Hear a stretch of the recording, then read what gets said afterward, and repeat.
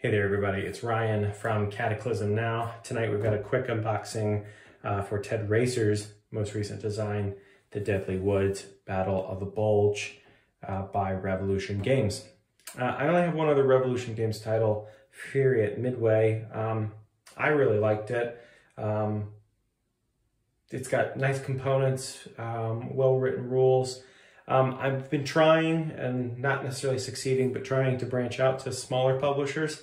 Um, I feel like I've got just so many GMT titles, not just owned, but pre-ordered. Um, and so I'm working on not just branching out to say like MMP or Worthington, but also branching out to smaller uh, ones. Um, I know Hollandspiele, Revolution Games. Um, so been trying to branch out and um, when I heard that uh, Ted was doing a, a, continuation of his Dark series, essentially um, using the chit activation system for the Battle of the Bulge, um, I couldn't say no. So here we have it. Arrived sooner uh, than expected, which is no complaint at all. I really, really love the um, the art here on the front. Um, kind of stoic and uh, yeah, kind of creepy and haunting. Fits the title Deadly Woods. Um, I also like the, I like how this is uh, divided here, but we see, um, can't tell if this is a, uh, looks like probably German mortar crew here. Anyway, let's pop her open.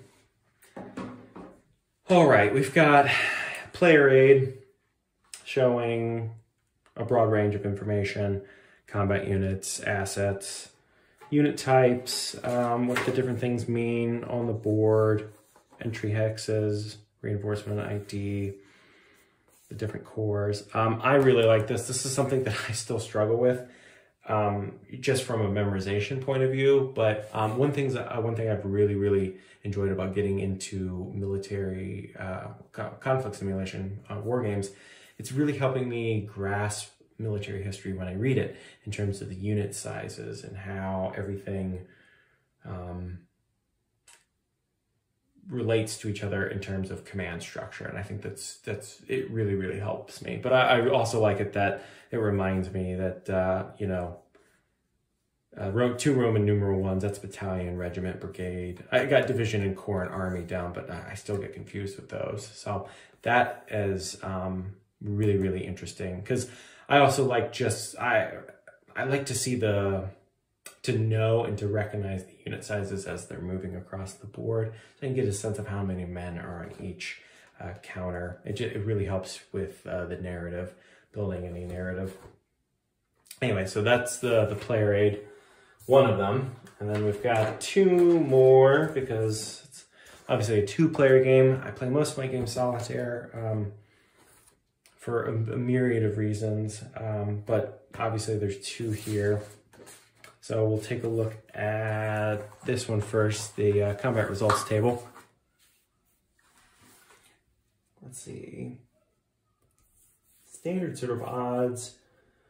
We've got uh, attacker loses a step, DRs. There's sort of an, not a full exchange, but so it seems to be, there's a fair amount of gradation there. Um, doesn't seem to be all or nothing.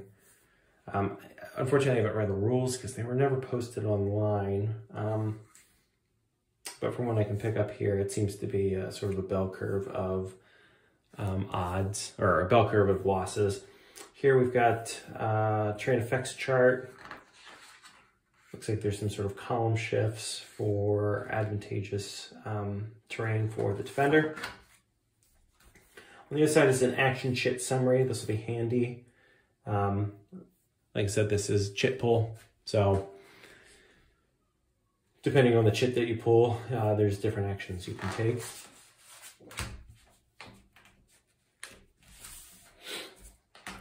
All right, let's see if we can move these. Next, we have the rules. They are 22 pages, 20 pages, the index. There's some designer notes here. Um, the Revolution games, they don't tend to be illustrated um, very well. or, or at all really. I mean, there's, you know, showing what a, a zone of control is, but I think most of us already know that.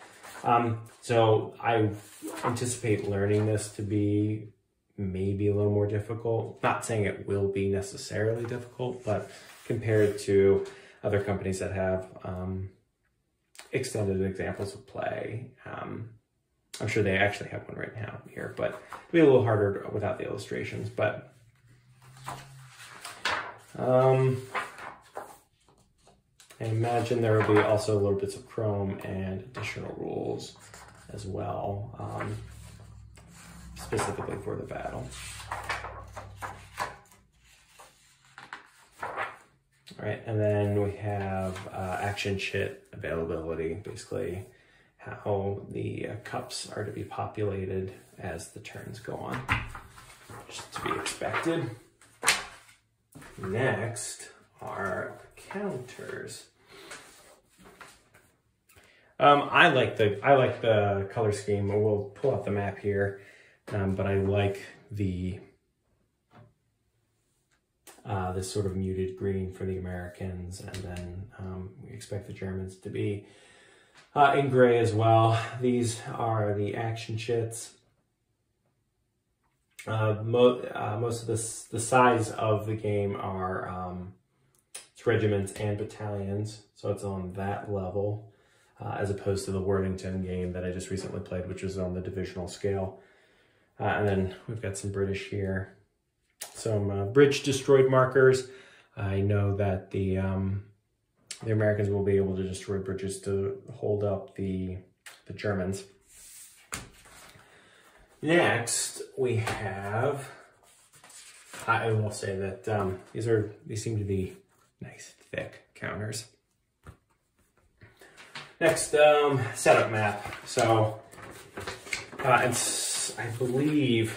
Uh, this is for, well, obviously setting up the game, but instead of populating this information on the map um, specifically, uh, I think the TED uh, Raicer opted to, to have a separate sheet here um, so they can you know, populate it. Lastly, we go to the map and then I'll comment on some of the uh, design uh, choices that uh, Ted's made actually was uh, conversing with him uh, a bit on Twitter um, about the scale of the game and the scope. Um, apologies for the glare here. I've got, I'm not filming on my usual table. I've got another game set up, so I have to do it here on the kitchen.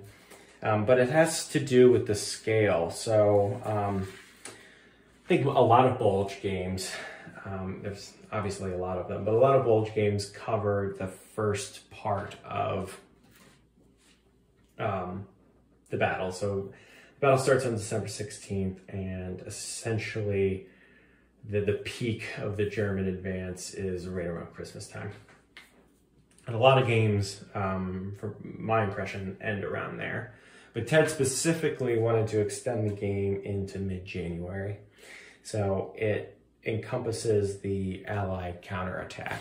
Um, so obviously, geographically here, we have the West Wall, um, and the Germans are launching their offensive uh, through the Ardennes Forest, and they're essentially trying to cross the River Meuse at some point. Um, the apex of their advance uh, is just east of the Meuse at Dinant, um, but this map covers not just obviously the West Wall over here, but even covers Sedan down here in the lower left which is historically where um, the Germans initially crossed in 1940. Um, they, they are trying to angle up more to the uh, northwest and crossing around Namur or Liege because um, their, their goal is Antwerp and not necessarily down here. That all being said, um, Ted wanted to cover the entire offensive. So not only to give the Germans or the Allies the chance to absorb the attack, but also to coordinate their own counterattack. So both sides get to play offense and defense, and it also prevents the Germans from, you know, manipulating the victory conditions in a way where they're just going for broke, not caring about casualties, just trying to achieve their um, their victory points um, without regard to what comes the day after, you know, uh, um, uh, the offensive. So it is 12 turns. It goes all the way up to January 15th, so it's the whole month. Um, so I, that was another thing that drew me to the games is the scale. It's not just covering the initial ground that the Germans are trying to take, but can they hold uh, the ground um, that they do take? So that is what drew me towards the game. It's also Ted Raicer, um, and yeah, Battle of the Bulge. So I plan on getting this on the mat or on the table uh, after Ukraine 43. Actually, let me take a quick look. Speaking of the victory conditions, I imagine it's some combination of um, geographical hexes and casualties, but let me double check here before I let you go. So the Germans score one VP for each VP hex marked in white with an orange. Yeah, so it's essentially they get a victory point.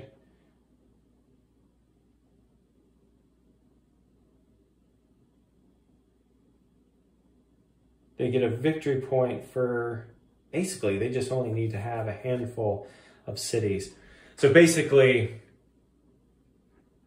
if I'm reading this right. Uh, I won't go too much into it, but yeah, it's it's either victory hexes or uh, on or in supply mechanized steps off the board, which um, is is fairly common for, for victory um, conditions for uh, Ardennes games. Anyway, so that was just a brief, um, hopefully informative unboxing for Ted Raicers, The Deadly Woods uh, by Revolution Games.